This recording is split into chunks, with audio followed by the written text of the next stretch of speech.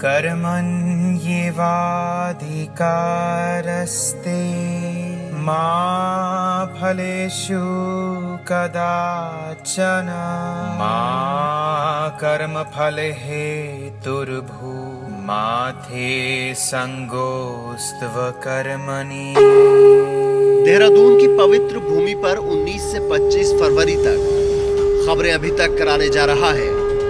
सामूहिक श्रीमद् भागवत कथा ज्ञान यज्ञ। खबरें अभी तक का जो चैनल है ये संपूर्ण भारतीय परंपराओं का नेतृत्व करता है और जिस प्रकार आज इन्होंने उत्तराखंड में एक निर्णय लिया सामूहिक श्रीमद् भागवत कथा समर्पण करने का सामूहिक श्रीमद् भागवत कथा करने का जिससे उत्तराखंड का उत्थान हो उत्तराखंड की यश उत्तरा उत्तराखंड की कीर्ति उत्तराखंड का जो एक सम्मान है वो पूरी दुनिया में जाए। श्रीमद् भागवत कथा के अलौकिक अमृत पान का आनंद लेने के लिए। सभी श्रद्धालु सादर आमंत्रित हैं।